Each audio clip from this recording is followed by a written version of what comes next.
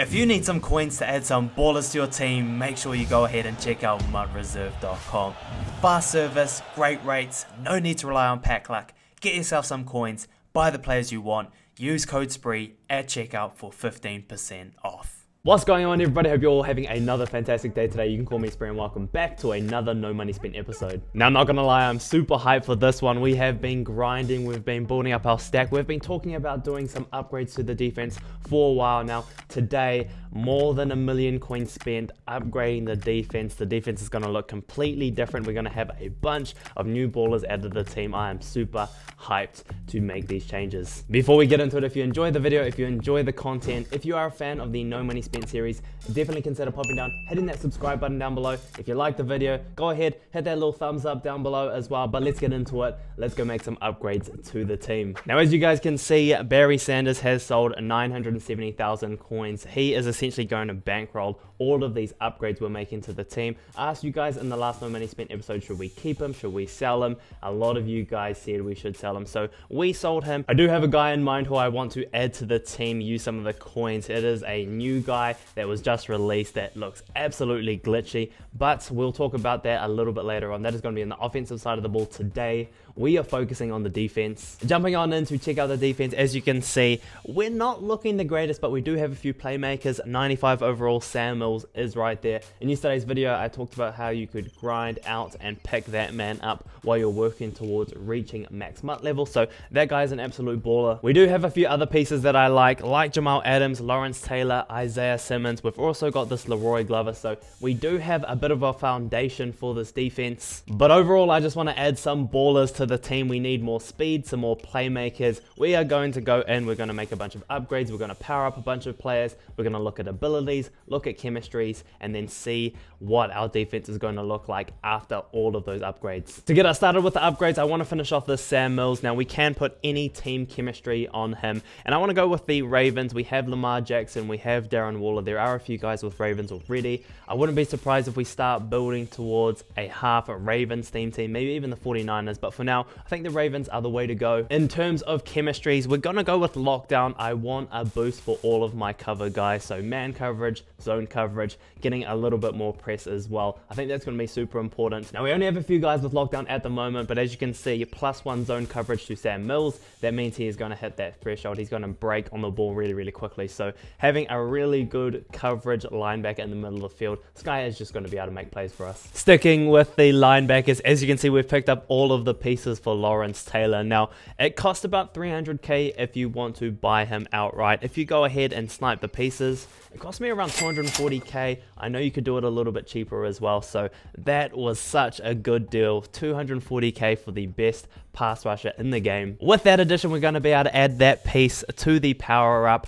We are going to have ourselves a 91 overall Lawrence Taylor added to the team. Such a glitchy player. The other thing we can do now that this man is 90 overall, we can add edge threat to him. Now, I don't know if edge threat is still the move. I know a lot of people are still running edge protectors, but we are going to go with edge threat, see if he can ball out for us. We can go back to under pressure if need be. Now, with lockdown, he's going to get a few more boosts, but as a pass rusher, he's not really going to get anything that's going to really help him. But as you can see, 88 speed, 91 excel, 87 block shed, 90 power move, 88 finesse move. This guy is going to be a freak for us. I am so dang hyped. Next up, we want to look at safeties, and we are making one new addition to the team. Safeties are super important in my scheme. They're all over the field. I need a guy that's going to be good in coverage, good hit power, nice and tall, going to make plays, and I don't think anyone embodies that more than this man, Steve Atwater. Now, as you can see, we've gone ahead and picked up his power up from completing this challenge. Almost 2,000 training to upgrade this man to his 87 overall. I have gone ahead and picked up his 89 overall. It was going for around 130,000 coins, so I thought I'd snap it up while I could. And we have this man, a 90 overall free safety, ranging all over the field for us now. Now, if we go ahead and check out his stats, as you can see, we are up to 89 zone coverage. We will add enough guys to that lockdown chemistry to boost that up to 90. He is also going to hit that threshold. This guy is just going to make plays for us as well. So that's going to be our only addition to the safety group. Now, I am hopeful we are going to get someone like Sean Taylor over the next little bit. They have been dropping absolutely fire cards. So I'm holding out, hoping we get someone like that shortly. But we're going to hold on to Jeremy Chinn. He is going to be a spy for us. A lot of the time he plays a lot at linebacker. So he's still going to be good for us with our high speed. Early in the week, we bit the bullet, picked up Jamal Adams. It was maybe 60, 70k for his power up. Way too expensive, but we haven't boosted up to an 88 overall. The current plan is once we reach max MUT level, I'm going to use the power up pass on him. Make sure we can boost him up all the way to the 91 overall he is. That card looks crazy as well. And don't forget about this man, Isaiah Simmons. He is our user. We're going to keep Acrobat on him. He makes a lot of plays for us. I'm a big fan of this card. There is no way he's going to be leaving the team. Next up, moving on to the defensive line, as you can see, La'Roi Glover. Now, we did have Ed McCaffrey before. I really liked Ed, but he wasn't seeing my field, so thought I'd go with a position that I could actually use. So we have La'Roi Glover. I've just switched him up so we have the Ravens version of him as well. Now, there are two tokens that we could go ahead and pick up, spend the 30k, but I'm sure I will earn them over the next little bit. So we are going to hold off, keep him at his 90 overall. This guy is still going to be able to make plays for us. He has the lockdown chemistry as well to give us that boost, but we will have a 91 overall La'Roi Glover on the team very shortly, I'm sure. The final addition to the defensive line, we are going to fully power up Myles Garrett. Now to make that upgrade, plus some of the other upgrades we have planned, we do need some training. I have these collectibles. I had hoped we could save them, hold on to them, wait for the training value to go up, but we need the training now, so I'm going to quick sell those. We'll take another 6,000 training right there. With that training, we can put it to good use, and we can fully upgrade this man, Myles Garrett. This guy's balled out for us. I'm sure he's going to ball out for us when he is boosted up to his 90 overall as well. Now, I did go ahead and add edge threat back to this man. He's been getting a lot of pressure for us. Hopefully, he can keep doing it. Now, I'm not 100% sure how much we've spent on the defense so far, probably around 500,000 coins, but we do have a lot more upgrades to do, and they are all going to be at the cornerback position. Cornerbacks are super important. We need guys that are going to ball out for us. Starting off with our new slot cornerback, we are going to go with Denzel Ward. Now, this guy's power up is still expensive. I think I got mine for around 60, 70,000 coins. Definitely overpaid, but I was a bit impatient. I don't have the coins to pick up his LTD, but if we go ahead and check out his stats, 92 speed, 92 excel, 88 man, 88 press, solid zone coverage as well. This guy's going to do a great job of locking down the field for us. Now, if you've been playing Weekend League, if you've played head-to-head -head seasons, you would have come across this ability, Bench Press. It is super overpowered. I hope it gets nerfed sometime soon, but in the meantime, I am going to add it to all of my corners. I don't run a lot of man coverage, but when I do, I want to be able to bench press the crap out of people. I'm sure I'll be pressing a lot even when I'm in zone coverage as well, so I think this ability is going to be really good, and it is only 1 AP.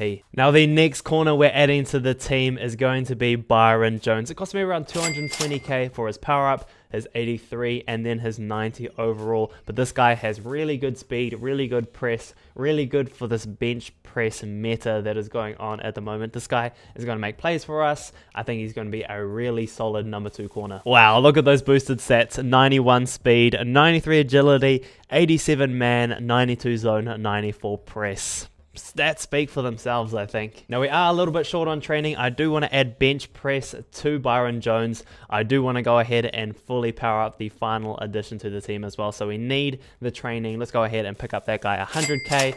Please do not laugh at me if I just bought a guy overpriced. I'm not sure what the best training value is at the moment, but I think that's sitting around 27, 28 per. So I think that's pretty solid value. Now we have one final player to add to the team. I need a corner. I need a guy that is tall. I need a guy with good speed. A guy that's going to make plays for us. And I think the new 50 Nnamdi Asomugha is going to fit that description to a T. Now I have gone ahead and sniped a bunch of these 81 overall fresh players. I was able to get most of them for less than 20k.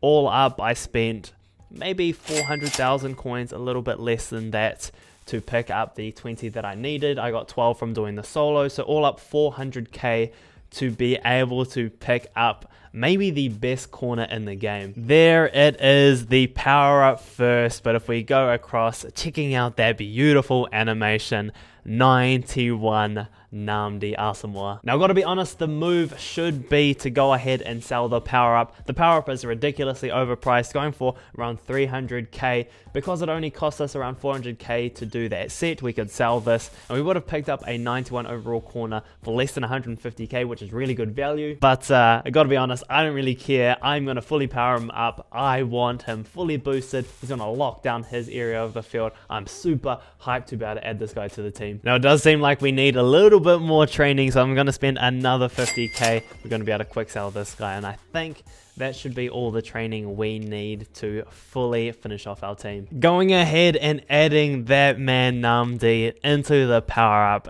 there he is. How good does that card art look? Going ahead and checking out his stats after we add bench press and lockdown, 90 speed, 94 man, 94 press. This guy is 6 foot 3. He's like a fast version of Richard Sherman. I'm super excited to add this guy to the team. After spending all of those coins, what's another 50k to finish off and get the training we need to add some X factors to our defense. Now I have thought a little bit about the X factors that I do want to add to the team. I thought about having something like Unstoppable Force, but I think with the amount of coverage that I play, having universal coverage on a bunch of our guys is going to be the move. So we're going to add it to Nnamdi. Let's go ahead and add it to Byron Jones as well. And then finally, let's add it to Jamal. He's going to be all over the field. So I think having him with that ability is going to be really useful. After all that, I'm not even sure how many coins we spent to improve this defense. Maybe 1.1, 1.2 million coins. But this is the defense we're working with. Boys, this looks super glitchy Atwater boosted to 91. Lawrence Taylor. We got a 96 Sam Mills. Jamal Adams is still going to get even better shortly as well. Our corners look like they're locked down. We've got some beasts coming off the edge as well. I think this defense looks really, really good. Now, I'm sure some of you noticed that we had some really solid backups. We have Jalen Ramsey. He will get a boost with that Derwin James versus the World card. That'll come out in about a week and a half, so I'll power him up, boost him up when that card comes out. We've got Aaron Donald. Whenever his cards come out, they are usually the best defensive player at the time, so I'm expecting that to come out shortly or some sometime over the next couple months. We are prepared. He's going to be sitting there ready to roll. Now, for the rest of the guys like Von Miller, Patrick Queen, DeForest Buckner, and Reggie White, they never see the field for me. So it doesn't matter who we have at those positions. Obviously, we could add other guys, improve the overall, but I'm not really too fussed. I don't need to spend any more coins for guys that aren't going to touch the field. We have spent a lot of coins on guys that are going to actually see the field. Everyone else we don't really need to worry about. Now the final thing I do need to do with this defense is make sure I activate all of my abilities, all of my X factors. So let's go ahead. I think if I've planned it out correctly, we have all three of our X factors and we've used all 10 of our AP points. So uh, let's see. Yeah, I think I think we're looking pretty good. We've got three with Myles Garrett right here. And then the final slot, one more with that Acrobat, 10 for 10. Just a quick recap on our X Factor and our abilities on defense. We're running with Nnamdi, Byron Jones, and Jamal Adams, all with universal coverage. All of our corners, Nnamdi, Byron Jones, Denzel Ward, all have bench press. We have two edge threats with Lawrence Taylor, with Myles Garrett, and then we have our user, Isaiah Simmons. He has Acrobat to get those glitchy animations. After all of those upgrades, we are up to an 87 overall for the team. I gotta be honest, I cannot be happier with the upgrades we've made. This team looks like a bunch of goons. I'm super excited to finish off Weekend League, grind out, play the rest of these games, finish off the weekend league and have some fun with this new defense. Before we finish up today, I do want to quickly talk about some of my plans for the offense. I want to pick up Reggie Bush. I think that card is going to be super glitchy. I want to upgrade my left tackle, boost him up, maybe just to an 85 overall, and then I want to spend a bunch of coins upgrading the wide receivers. So I think Brandin Cooks would be a good addition. Reggie Wayne would be a faster slot receiver that gets the same abilities as Drew Bennett. Maybe someone like Tyrone Calico, I think, would be a really good addition addition as well. Now, obviously, all of those additions are going to be really expensive. We have a good amount of coins. We have some guys to sell. We're probably going to get close to the million coin range again. We'll have weekend league rewards, so we'll have plenty of coins to spend. But tomorrow, I'll be dropping a video talking about a way to pick up 50 players really, really, really cheaply. So definitely keep an eye out for that. But that's going to be about it for today, folks. I'm really loving the upgrades we've made to the team. I'm going to have some fun playing a bit of weekend league with them. Obviously, once we add the upgrades to the offense as well, this team is going to be more than competitive to pretty much keep up with any team. So I'm excited about that. The no money spent team will be able to make plays. Hopefully next weekend we'll be able to have our best finish so far in weekend league. Now, if you have any advice for maybe some guys that I should look to add to my team, definitely let me know down in the comment section below. If you enjoyed the video, if you stuck around to the end, make sure you go ahead, hit that like button, hit that subscribe button. But yeah, thank you very much for coming through. Take it easy, everyone. You can call me Spree, and we out.